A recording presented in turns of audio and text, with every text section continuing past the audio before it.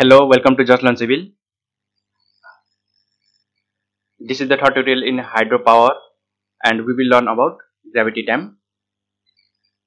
We will solve a numerical problem and how to draw phreatic line in this numerical problem. Earthen gravity dam features. It is a gravity dam. Gravity dam because the resisting force is this is the hydrostatic force and the resisting force is self weight of the dam. It has top width and has a trapezoidal cross section as shown in this figure. You can also see this is the homogeneous dam with no core element but here the core element has been placed to make it more impervious.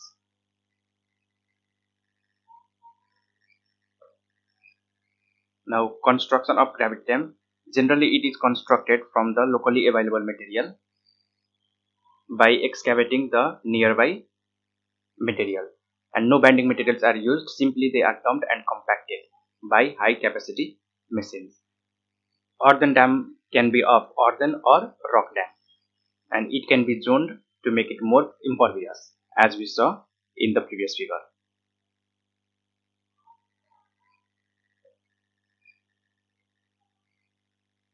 Earthen failure now we will see how the earthen dam fails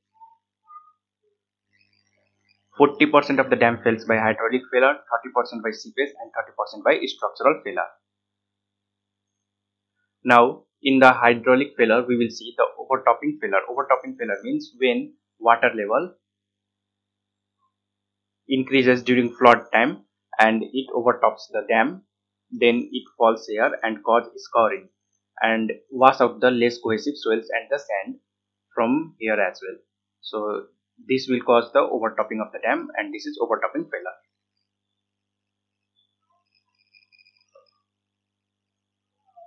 Now seepage failure, piping failure means internal cavities are formed, pipe-like structures will be formed by eroding or scouring and slowly this pipe is formed and it causes piping failure. Internal cavities, displacement of soil particles.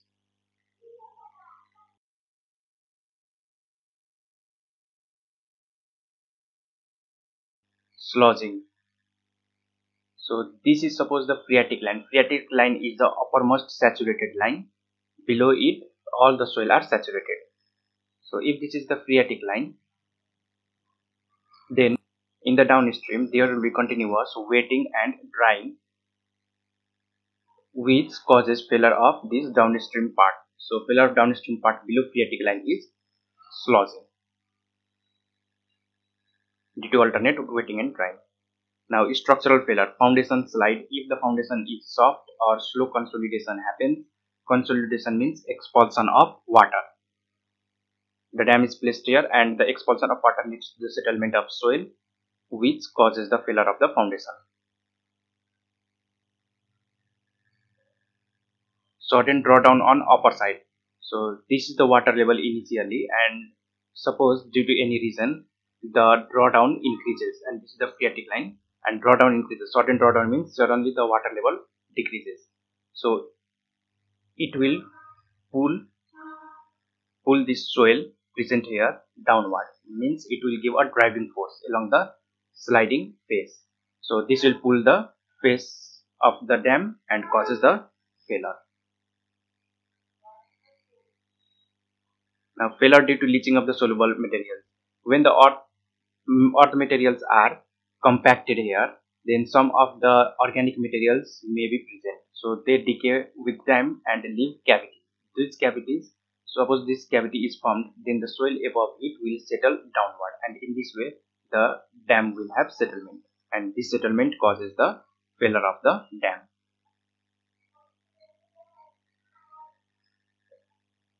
Now failure due to earthquake, excessive settlement or cracks due to earthquake develops and this causes the failure of the dam.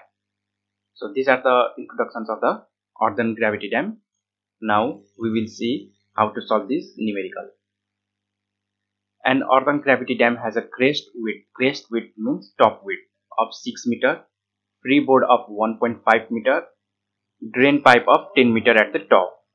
Now we have to determine the phreatic line ordinate and the specific flow discharge passing through the dam. The value of K is given here. we already know it is trapezoidal in shape now as per the given question 6 meter here is the crest width freeboard is 1.5 meter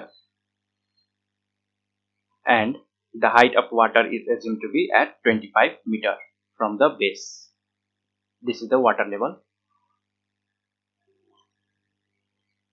now suppose the slope in the upstream size is 1 is to 3 and slope in the downstream is 1 is to 2.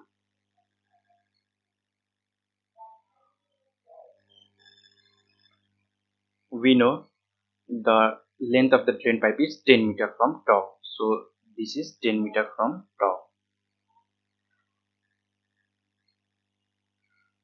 This is drain. Now draw a phreatic line.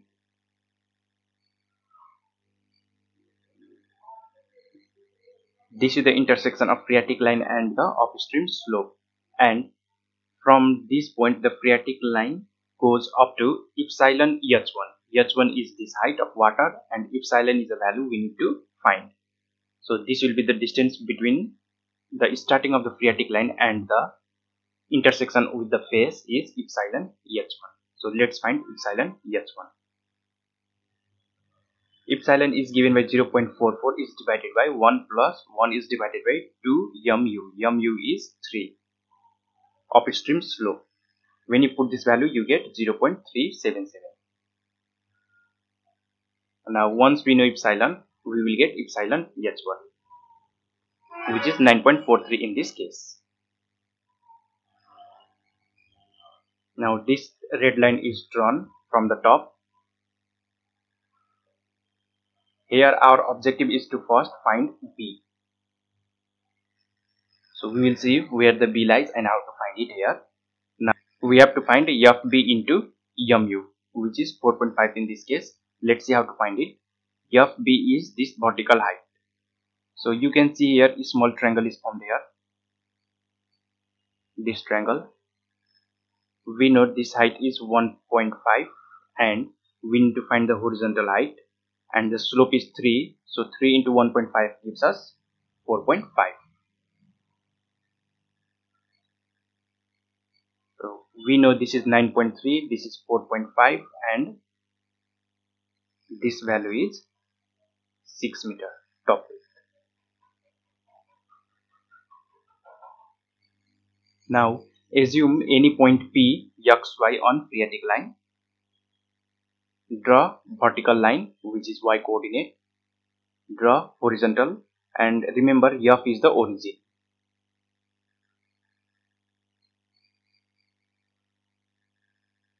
Now from f origin you draw a vertical line and this will be our x and this is our y. So the resultant would be pf red represents the pf line resultant. Now we know phreatic line is parabolic. So we have to draw our directrix and directrix is at distance x naught from origin. Now from the top corner draw this vertical line. We know this is 9.3 4.5 and this is 6 meter. Now we need to find these two distance we already know from F to this point it is 10 meter. And we need to find how much would be this. So see this big triangle. Downstream slope is 2 so 2 into this vertical gives us horizontal. Now we need to find what the vertical is. The vertical is 25 plus 1.5 so 25 plus 1.5 into md gives us this whole length this whole length. But we know this is 10 this much part is 10 and this much part is 53 here. From here we got it. 53 so remaining would be only 43 which is here.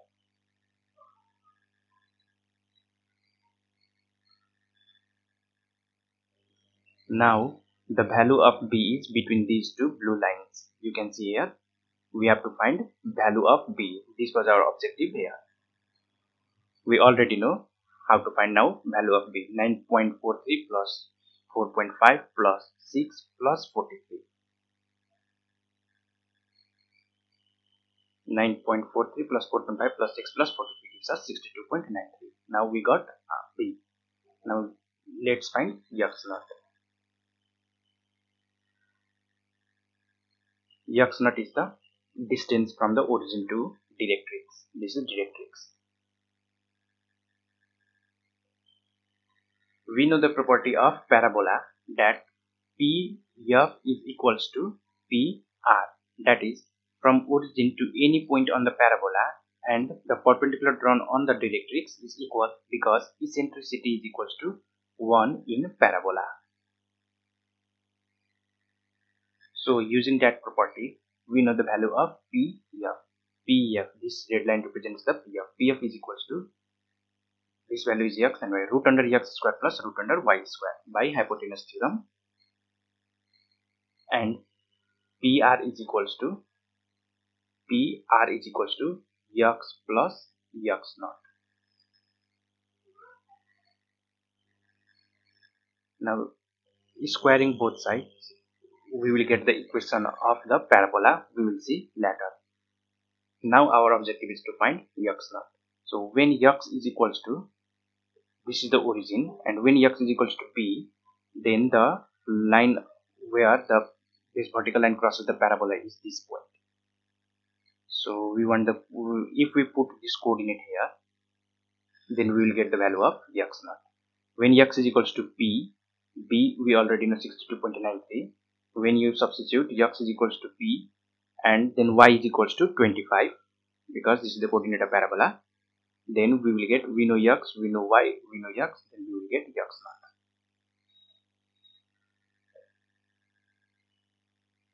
On solving we will get 4.78 x naught. So this value is 4.78 now let's find q. We already found x naught and b. Now our objective is to find q. This is from the property of parabola. Now when x is equals to 0 y is equals to x naught is equals to 4.75 x equals to 0 means at this point x is equals to 0 y would be here parabola point 4.78 now using the Darcy's law q is equals to k times of x naught.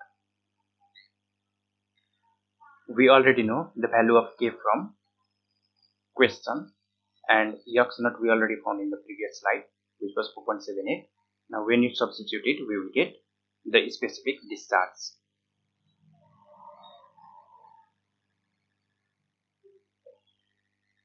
Now we have to find phreatic line equation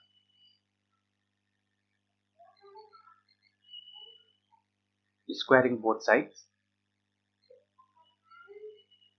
We will get these equations. Now x square and x square are cancelled.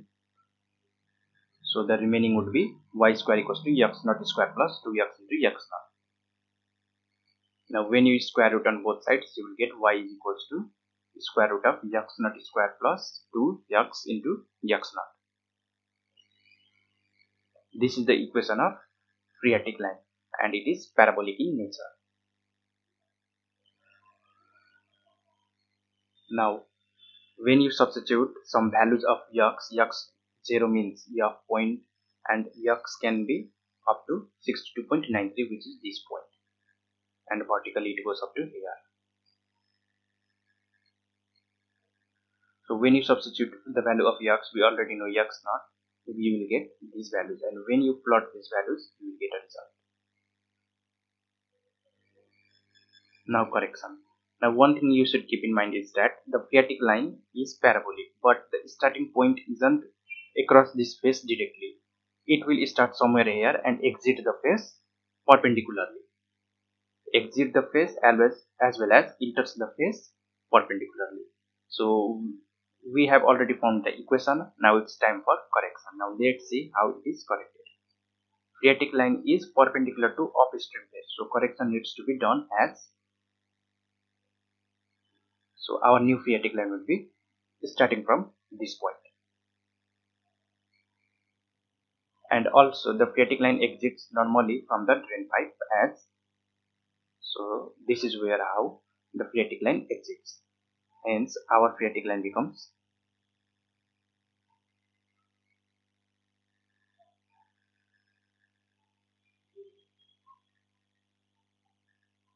so this is our phreatic line